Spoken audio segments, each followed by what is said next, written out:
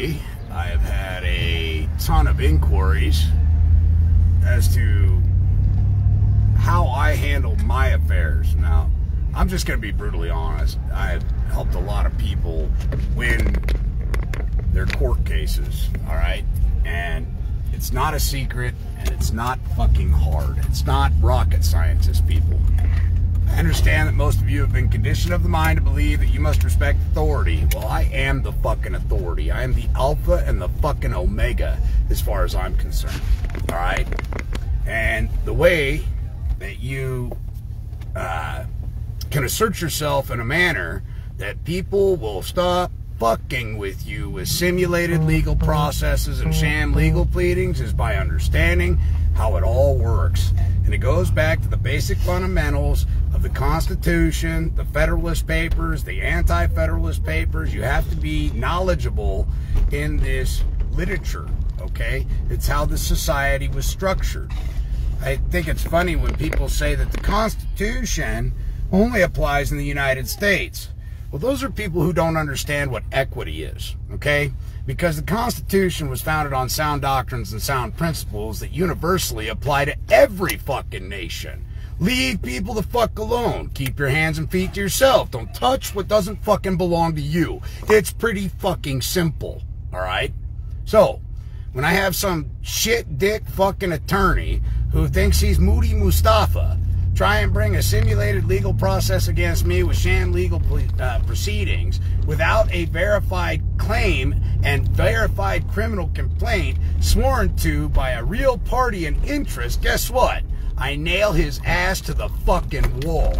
All right? Especially when he's using a false and fictitious, unregistered uh, pseudo name. Okay? For example, first name, middle initial, last name. All right? I nail the nuts to the wall on that shit. I go after standing before I ever go into the issue of jurisdiction. And I don't challenge jurisdiction by saying I'm challenging jurisdiction. I challenge jurisdiction with simple questions. And if they cannot be answered, then be it resolved. This son of a bitch has no standing in law or at law. Either way, I don't care what jurisdiction you're playing in. You are fucked. F U C K E D fucked. All right? Your ass belongs to me. My time is extraordinarily valuable. I will place whatever value I see fit on it. If you piss around and fuck around and find out, you will quickly see that you have no way out from me. All right? You people and by you people, I mean you people with a set of fucking proverbial testicles that can stand up and sound off like you got a fucking pair, ought to understand this very quickly. All right? Where is your warrant of attorney, delegation of authority, articles of incorporation, corporate charter, and bylaws to represent this fucking fictitious entity you allege to represent? Okay? If you don't have it, you don't have standing. If you put a motion to dismiss, I will quash that motion to dismiss because you haven't even proven you have standing to fucking make a motion before the court in the first instance. Are we clear? That's how simple it is. This is why I have created great disdain for me within the legal society because I put my boot up their fucking ass. I do not play games. I do not beat around the bush. I am very fucking direct. You either have the shit or you don't. Secondly, in my jury trial, all right, or the the the trial by way of jury, which wasn't a trial by way of jury because they are two different things. All right. I I made it very perfectly clear with a, a, shit ton of poignant points and remedies not only statutorily found, but also remedies that were found equitably. Period. End of story. That's why that case went poof abracadabra because there were too many people carrying the primary active degree of fault, carrying so much liability it would cause them their retirement. That's why it went away. Point blank and simple. All right? So it's a simulated legal process using sham legal pleadings for which no real party in interest had made an appearance before the court, sworn to under the pains and penalties of perjury, independently bonding the claim. As an American man, if they do not have an injured party stating harm, damage, injury, and loss with a verified claim with an affidavit in support, their fucking argument is moot. They have no standing. They have no in personam jurisdiction. No no subject matter jurisdiction. They fall flat on their fucking face. Not some of the time, not part of the time, every motherfucking time. Every motherfucking time. So I do a conditional acceptance. I conditionally accept your offer to contract because that's what it is. Everything equates to contract. Their silence being acquiescence. It's a quid pro quo. It's simple shit, guys. And no matter how much I teach it and I preach it and I lead by example and I show it, people still can't wrap their heads around it. It's that simple. It really is that simple. A contract must be mutually agreed upon, must be mutually beneficial for all parties involved. Cannot use any false, misleading, and deceptive trade practices or language, ladies and gentlemen. The law is so simple, even a single celled amoeba is expected to understand and comprehend what the law is. So, why are people struggling so much in court? If the law is that simple that every man should know it, how come you struggle so much to make your very poignant and valid point in a courtroom? Because you're before an administrative law clerk. You're not before a judge. There hasn't been a judge in this country since fucking 1791. You have to understand the difference in the jurisdictions. And for people that say the Constitution doesn't apply, okay, fine. Maybe the Constitution doesn't apply. Sound doctrines and principles still fucking apply. All right? And the Constitution was based on sound doctrines and fucking principles. End of fucking story. Yes, I'm amped up. Yes, I want to put a fire underneath your fucking ass and a fire in your belly. Because this country is being run by a bunch of political fucking tyrants, criminals and I'll be damned if I'm going to be told what to do while I'm here by a bunch of shit-stained child molesting pieces of shit. Never going to happen. Ever.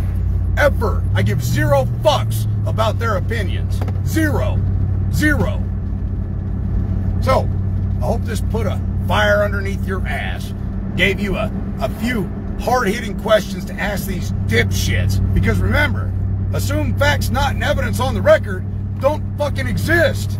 So until you prove who you are, until you prove that you represent this corporate charter, until you prove that you have a letter from the IRS uh, and that you're in good standing to do business in whatever state of confusion they're in, you can shut the fuck up and push on, or I will own your ass.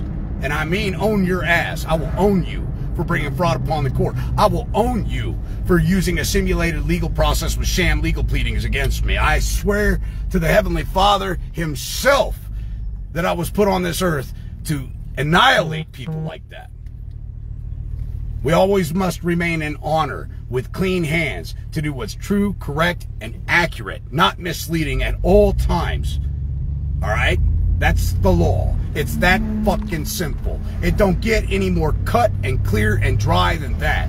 Statutes, codes, city ordinances, rules, and regulations only apply to those who subject themselves to it by way of contract or voluntarily accepting those terms and conditions. Are we clear? You will not take my property. People go, well, Derek, you only acknowledge uh, the First Amendment through the Tenth Amendment. Yes, that's true. That is true. You want to know why? Because the 14th Amendment ain't worth a broke fucking dick.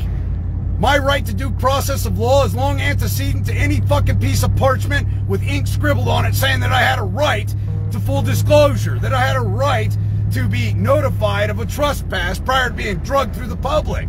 Yes, I could give two shits about the 14th Amendment. It's a fucking joke. That's only there for people who don't know who the fuck they are. Use my good name without my consent, I, I will put your dick in the dirt. Yes, I will. Oh, and if it's not my name, then who will take the primary active degree of fault and own that motherfucker? Who's the owner? Watch how quickly they all fold. We don't want to deal with that guy. He knows too much. He's too fucking quick. The guy can shift jurisdictions like an 18 wheeler. This motherfucker is quick, savvy, and he's fucking very, very brilliant. We're not gonna fuck with him. He's bad for business. And that's all you guys have to do too, is be bad for business. They don't want to do business with you because they realize real quick they're in a fucking boiling pot of piss and no administrative law clerk is going to join any attorney in a boiling pot of piss in a conspiracy against your unalienable rights. Not gonna happen. Ever. Ever. You know how I know this? I have helped many of the meek.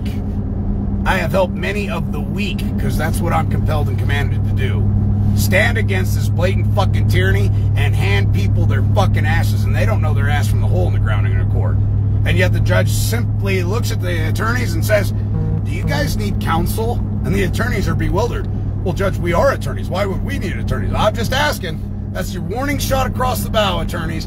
When I'm involved in something and the judge, the administrative law clerk is looking at you asking if you need legal counsel, that's because I've got your nuts strapped to a fucking barn and I'm getting ready to burn that fucker down and hand you a spoon and tell you if you want to live, you can cut those motherfuckers off with a spoon. All right? I've got you dead to fucking rights, and that administrative law clerk knows it. Knows it and he's not about to join in the festivities and get his ass thrown in the wringer. Mm-mm, no, sir. And I've done this on multiple occasions in multiple different scenarios. It can be done. You have to have the attitude. You have to have the heart. This isn't for the faint of heart. You have to have a little bravado and be able to say, fuck you. Where's your authority? Because all rights are vested in the people. The people not government, not a simulated legal process, not a judiciary. Here's the other thing, the other kick in the nuts to me. When people go, well, there's there's uh there's a case precedent, it's case law. The judiciary was never authorized to create law. Are you off your fucking rocker? Why are you placating to the people who oppress you? Do you have Stockholm syndrome? Get the fuck off that. Fuck's wrong with you? Holy shit. Anyway, that's my rant for the day.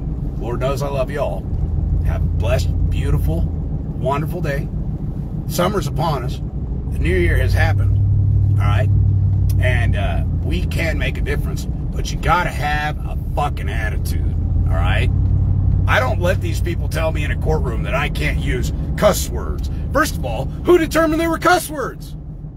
You know, because in the Bible, cursing means don't bring leprosy on people. Don't wish them dead. That's cursing people. All right? Fuck, damn, shit, asshole, all these things, bitch. Those are all, they all have different connotations than what you perceive them to have. For example, fuck is fornicating under the king's consent or the consent of the king. Shit is shipment high in transit. All right? So I'll say whatever the fuck I want when I want and there ain't a damn thing you're to do about it. And if you don't like the way I talk, then quit inviting me to your bullshit meetings. That's how that works. Capiche? Are we clear? Can't be any more fucking clear than that. Now, there's one other thing that I like to do to these dicks. I like to accept and acknowledge the oath of office in the form of a judicial notice, and I bind them to the contract because it's a contract. It's an open-ended contract. Acknowledge and accept it and bind their asses to it. That's how you kick the shit out of them. That's how you put them in their place. Prior to accepting and acknowledging it, it doesn't exist. They're 100% correct. Because everything is contract. Everything. Even trust is a contract. So, with that said, I love you guys. Go nail their nuts to the wall. A few simple questions destroys them because they're operating under an artifice and a scheme. Period. End of fucking story.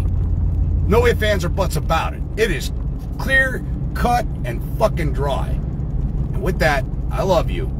Have a beautiful, blessed day.